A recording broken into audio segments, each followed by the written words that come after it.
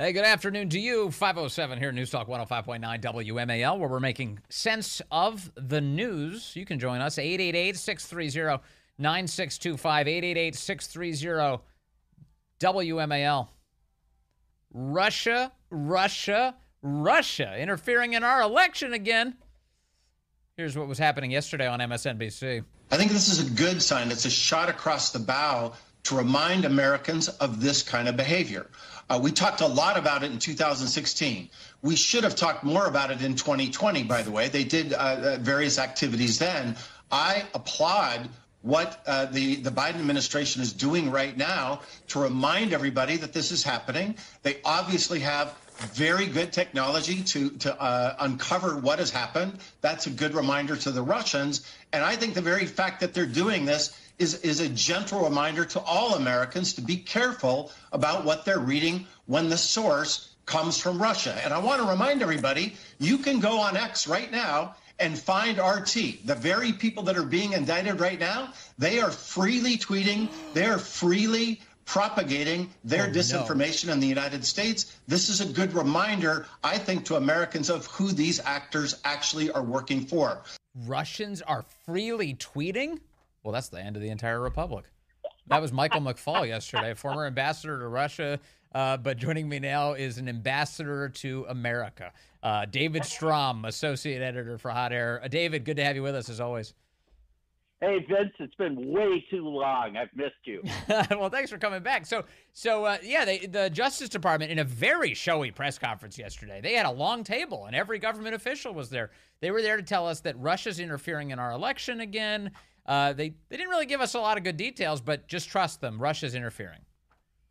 Well, look, Vince. I actually think it's true that Russia is trying to interfere in our election, and so is China, and so is Iran, and mm-hmm. so is the UK, so is the European Union. Don't forget, the European Union tried to shut uh, uh, President Trump up and keep him off of uh, Twitter yeah. Uh, because they don't like him. I mean, the simple fact is is that every country out there tries to influence every other country's election unless they don't really care.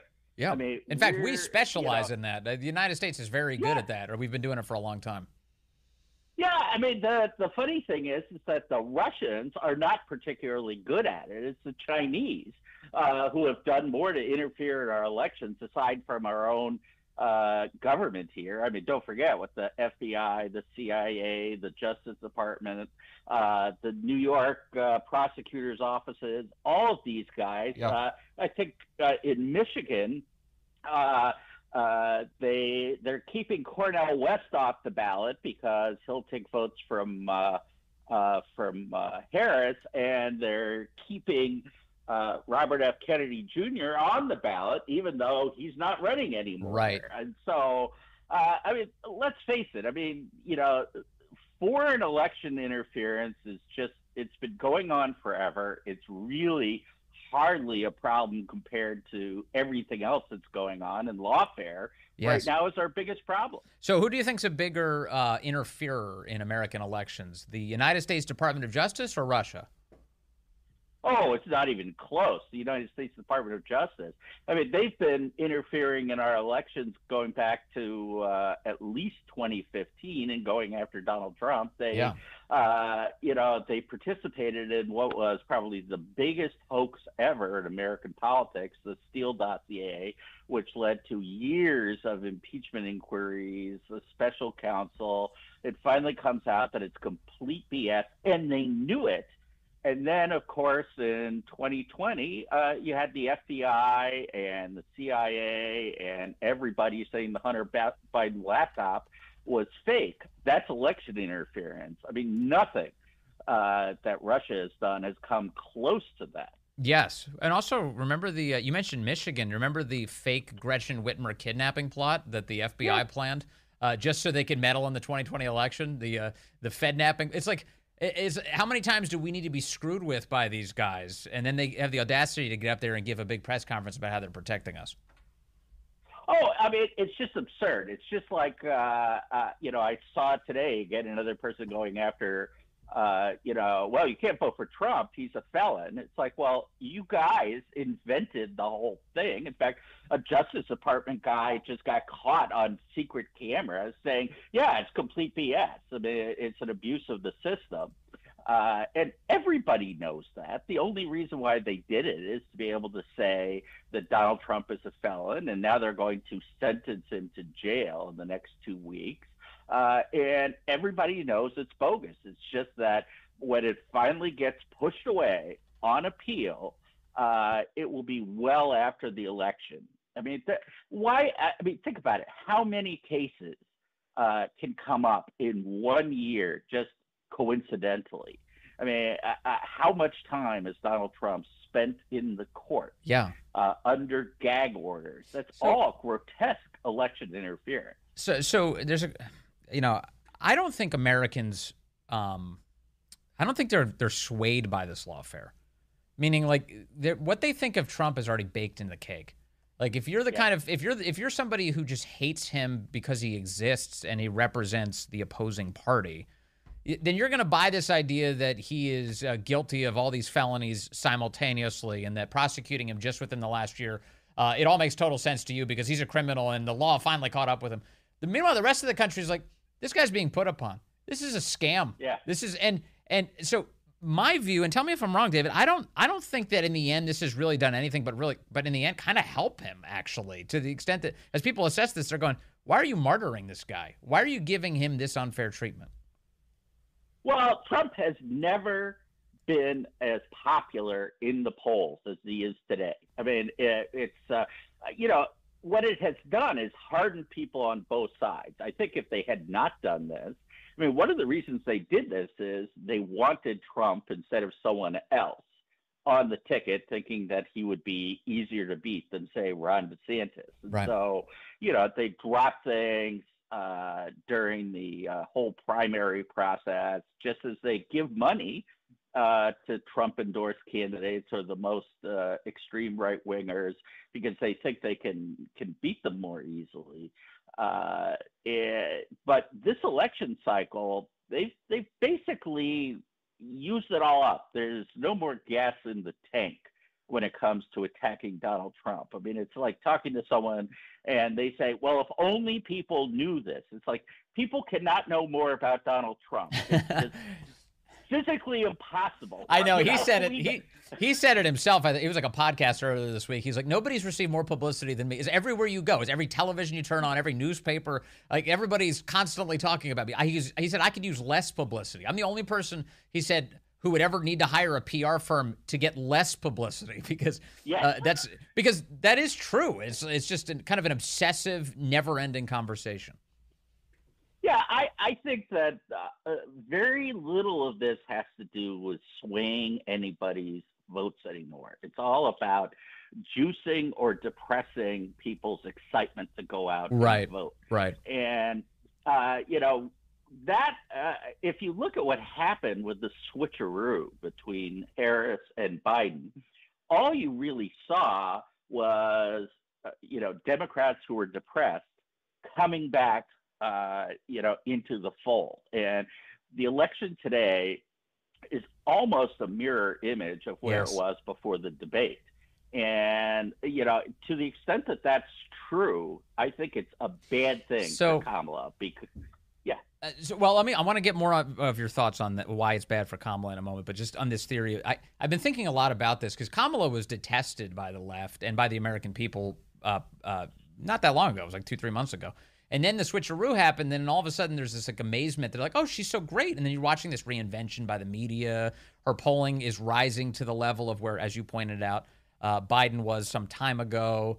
And and I've been thinking the analogy that's been going through my head is, you know, when you were a little kid and you would jump, if if you ever did this, you jump between a hot tub and a pool, and you, and and you yes. you enjoy the difference in temperature.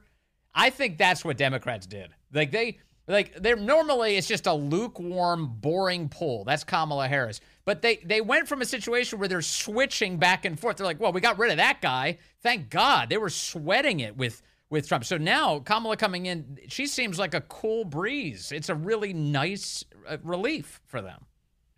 Yeah, Yeah, and I think there were uh, a lot of independents who were double haters who flirted and have been flirting with the idea that maybe Kamala is, you know, a better alternative. Uh, and ironically, the first few weeks of being the generic Democrat who's just acting happy helped her. Yeah. Uh, but that honeymoon is over. People actually want to hear things. And, you know, I think if the election were held two weeks ago, uh, you know, she probably would have won it. I think the election not be, you know, is it's now what two months away. Yes. I think that right now she is in a terrible spot. Do you uh, think she do you do you think she has a lot to lose in this debate? I do. Uh, I, I think the best that she can do is survive it because she really has.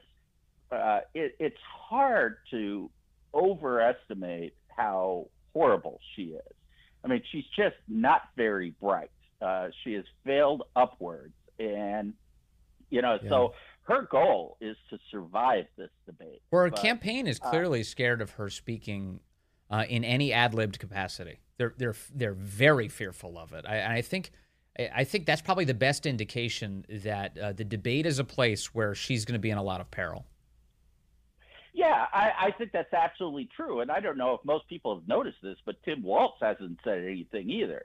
I mean, everything they do is 100% scripted. Uh, and you know, the one time that she comes out of that on the CNN uh, uh, interview, yes, she was at best met, and actually, it was pretty bad. Uh, you know, it was not campaign killing bad, but it really she didn't look joyful she didn't look smart she didn't look in touch with anything no. and they even you know, they screwed up to the point where they made her look like a midget compared to Dana Bash and Tim Walz. I mean, uh, uh, it, it, it's just bizarre. Yes. Uh, uh, and, and Walz uh, knows how to talk, so, by the way. Like Walz, Walz could do an interview. I mean, in fact, in the weeks leading up to him becoming the running mate, he did like a thousand MSNBC interviews. Trump is weird. JD Vance is weird. They constantly had him on. But yeah. now that he's a part of the campaign, the real problem is they don't actually have policies. They don't have exactly. not policies they want to articulate. So what is Walz going to say if he's asked questions? He has no idea what the campaign's policies are. They're running a weather vane campaign right now. They're like, well, what does the American people want? They want a border. Oh, we're for borders. This is what they're doing yeah. in these final days. Yeah, and I I think that it, they're trying to run out the clock, but the clock is too long. It turns out that even a three and a half month campaign looks way too long for these people. Uh, you know, it's a Hollywood production, and what we've got here is the acolyte. Uh, you know, the the horrible Star Wars thing. You know, they've got the girl boss. You know, they've got the you know LGBTQ characters. They, you know. Uh, it's it's like all these people got in the room and said, "What do we want to push on people?" And they picked all the things, and the problem is they don't have a story that works. No. And uh, you know, so just like the Acolyte, which got huge ratings in the first couple episodes, uh, they're starting to lose people. Now, I don't think that that the trajectory is absolutely set. Trump can lose this for sure. Uh, uh, there's no question because really you're only fighting over you know three or four percent. Uh, elections are won on margins. I mean, uh, you know, at his worst, uh, Joe Biden, who was drooling in front of the nation, was still within striking distance because Democrats are so set and Republicans are so set. So we're fighting over a small number of people in the middle. And so anything could happen. But the trajectory is horrible right now for Kamala Harris. Yeah. I mean, Nate Silver uh, now has Trump at a 60% chance of winning. I was just telling, I was just saying it to the audience just before you came yeah. on, actually. I was reading his numbers. Uh, and again, as, as I pointed out, to be generous to him, he's just giving you a percentage chance of victory. So even a 40% chance is a good are good odds. But uh, th- this is this is the the best position that Trump has been in in a very long time. Yeah, I, I, would have to say if I were to put money down today, uh, it would be on Donald Trump. And that's even assuming a fair amount of, uh, let's say, rule changing. And, you know, I mean, I wouldn't say that they were fixing the election, but, you know, they're certainly going to put their thumb on the scale. Meddling. Yeah, meddling's meddling. a big thing. Yeah, no, that, that it's yeah. happening all the time. Just ask RFK. Just ask Donald Trump. Just ask yes. every time they've they've tried to fix these ballots across the country. There, there's no question they have an, uh, an insatiable appetite for for rigging where they can. Uh, that's that's definitely true. Um, all right, hey, uh, David Strom. I wish we could go for hours. We should. I'll talk to you again soon, sir. Terry, Falling Waters, West Virginia, line one. Terry, good afternoon. You're on the Vince Coglianese Show. Hi, Vince. How are you doing today? So good. Terry, what's on your mind? Uh, I have two points. The first one has to do with the flip flops that we've been seeing from the Democratic Party. Yeah. And I've been an uh, advocate for short commercials, 30, 45 seconds, that actually use Kamala's voice, Walsh's voice, Biden's voice, and show exactly how they're flip flopping. Yes. And the Trump campaign did that, but it broadcast on Fox. You know. Com- I, I don't know. Uh, so so they only they only uh, they only posted that ad to Fox because remember she said my values have not changed, and then they ran a big spot uh, that included a bunch of her statements from the past, and then they just kept peppering in my values have not changed. You say, you said that only ran on Fox. I've only seen it on Fox, but to be honest, I don't watch a lot of news broadcasts from oh, okay. the other stations. And, and, you know, one of the things to remember is sometimes they don't buy ads at the national level. They drill down to the battleground states and they'll buy ads on local television. But you you want them to emphasize the flip flops. I want them to use very short, thirty second, uh, forty five second uh, commercials. Yeah. Because the the channels can't deny running those commercials. Yeah, yeah. No, it's a good point. Without getting sued. And in fact, in addition to that, uh, you need guys like J.D. Vance and perhaps even Vivek Ramaswamy, guys who have this encyclopedic memory who can go on TV and battle it out when they can break through. I've got some audio actually of Vivek doing that this week, and it came out great, and it really ticked off CNN. Hey, good afternoon to you. It is now 535, News Talk 105.9 WMAL, where we're making sense of the news. You can join us today, 888 630 9625, 888 630 WMAL.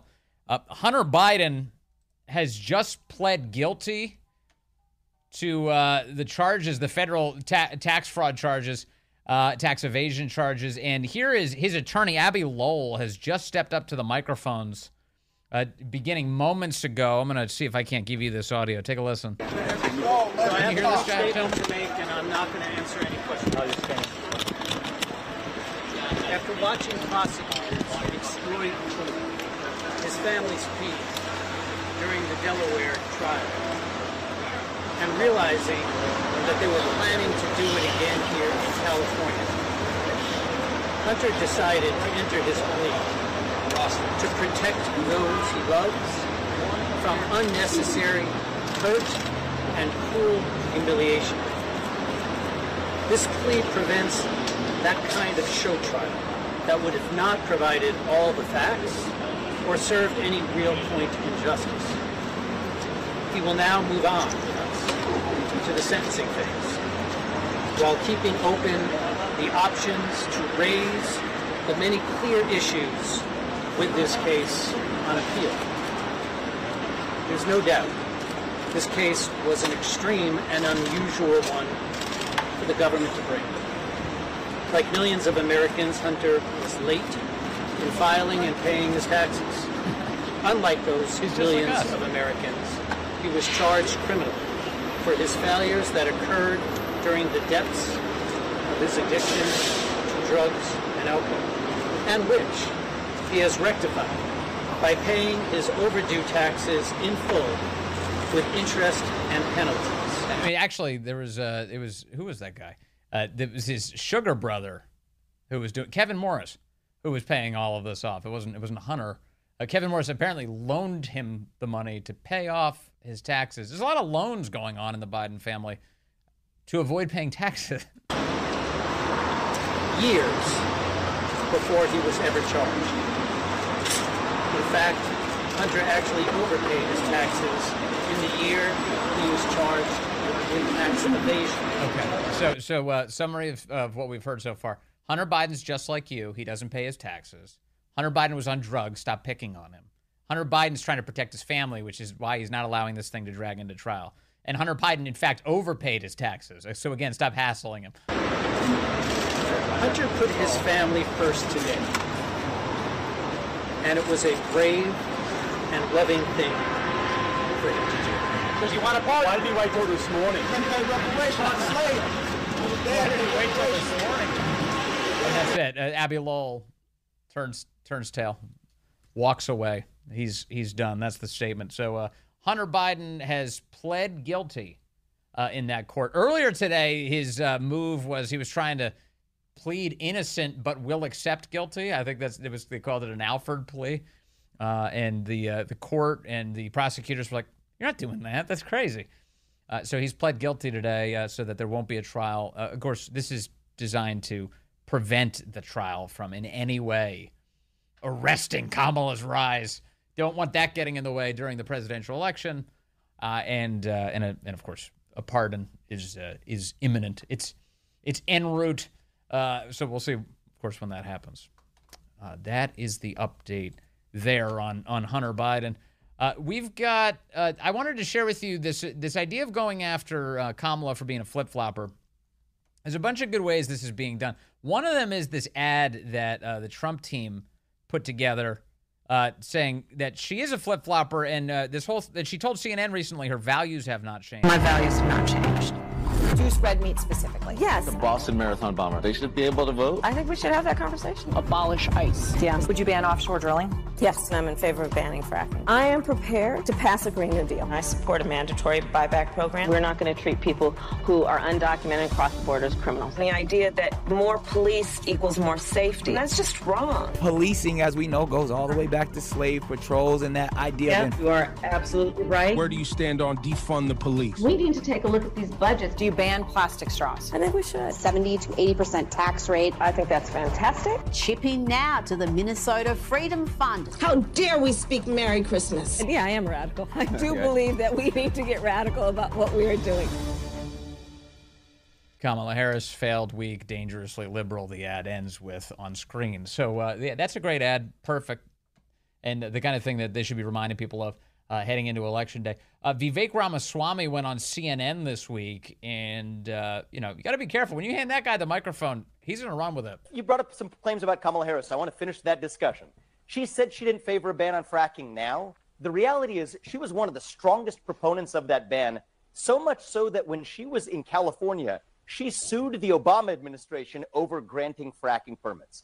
She didn't just favor the abolition of private health insurance. She was a co sponsor of the bill with Bernie Sanders as a U.S. Senator for Medicare for All for Americans. The reality is, when you think about the Green New Deal, she was the chief proponent, not just as a co sponsor of the legislation, but going further and saying she would end the filibuster in the Senate to ram that through. So the reality is, she can say what she wants to say now. Those are actions she has taken. Is someone allowed to evolve? Of course they are. But she deserves to explain exactly why she's changed those positions, exactly what her position is. If it's not a ban on fracking, what exactly is it? What exactly is her health care plan if she no longer favors abolishing private health insurance, which just four short years ago when she ran for president, she did? And that's the kind of scrutiny that's been missing. I think Donald Trump has received plenty of scrutiny, and I give credit to him for sitting for hostile interviews that Kamala Harris has not. Yeah, just just rattling them off. Vivek, uh, in in many ways, uniquely equipped to do it. Very talented. J.D. Vance is also very capable of that. Uh, you know, President Trump's got his own fighting style, but it's not usually encyclopedic recitations of everything Kamala Harris has ever said or done. Uh, so that's and that's he's got utility players for that. He's got J.D. Vance. He's got uh, uh, uh, people like Vivek who can do that really, really well. Uh, so to the extent that they can get these guys on those networks, fantastic. President Trump will have his own opportunity this coming week, of course, on that debate stage. All right, your calls are coming in 888 630 9625, 888 630 WMAL. Let's bring in Chris from Bethesda now, line five. Chris, good afternoon, sir. You're on the Vince Coglianese Show. Vince, in my opinion, and I'm a, I'm not the smartest guy in the world, but in my opinion, Me neither. This whole thing, you know, I mow grass. My he's he's pleading guilty to rush this thing so that he can get to the sentencing phase or however this stuff works Yeah. so that his dad can pardon him before his dad gets booted from office. In my opinion, That's. A, I think know that's what a. happens with appeals and everything. but- Yeah, yeah. I think that's a reasonable opinion. I guess one thing that I've I've thought about quite a bit, and uh, I'll, I'll let I'll let the attorneys, the smarter guys among us, uh, uh, weigh in on this. But I will say that um, you've got in in history, Gerald Ford's pardon of Richard Nixon was a uh, a preemptive pardon. He he comes flying in with a pardon that says, uh, no, no, you're not, you can't charge him with any crimes he may have even committed. Uh, and that pardon is available uh, apparently at every step of the process. So a guilty plea today, a finding of guilty, you you got to imagine that uh, Joe Biden could can intercept it uh, starting now, or even if the trial were to drag out. But I, your impulse though, your instinct, I think, is right. This this is this is more about political hijinks than it is any sort of like actual uh, attempt to to render justice. Right. Well, great show, Vince. Thanks, Thanks, a lot. Chris. Man, I mowing grass.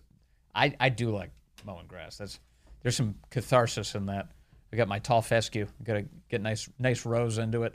Uh, let's see. I've got. Is it Ami? Uh, is it yeah Omi in Woodbridge? All right, Omi is on line four. Omi, good afternoon. You're on the Vince Coglianese show. Hello, Omi. Check check one two. Is this thing on? Omi. All right, no Omi. Um, Omi's point also well taken. He, he wanted to mention that he thinks that this is uh, done within the context of Trump's sentencing. Uh, that Trump's sentencing is coming up, and therefore the last thing the left needs is any other legal distractions hanging on, uh, which is an excellent point. They want to imprison this guy, and they don't want you don't want Hunter Biden to be in the midst of some sort of trial uh, at the same time. So it, let's clear the deck. Let me take Sam in Alexandria, line three. Sam, good afternoon, sir. You're on the Vince Coglianese show. Hey, Vince. Uh, thank you so much. I appreciate it. Yes, sir. You know, all of us political junk- junkies, especially in bursting radius of D.C., I know we've been thinking and wondering, you know, what the president's uh, approach is going to be as he goes on the debate stage. Uh, and I was wondering what your thoughts are. Uh, and then I'll, if you don't mind, I'll follow up on what I think it should be. What his approach should be next week on the debate stage. Uh, Well, well, for one, I totally agree that it should be about the flip flops. What Kamala Harris actually believes and what she's advocated for, uh, what she what she actually stands for, and really this idea that she's trying to run away from the fact that she is the vice president right now. All of this day one chatter that they've been doing on day one, I'm going to do this. I, I have a feeling that President Trump is going to rest really reliably on this point, which is you've had three and a half years. We know what it looks like. People are poorer. We're in the midst of all of these wars. There's all sorts of chaos going on. People are dying due to the fentanyl crisis.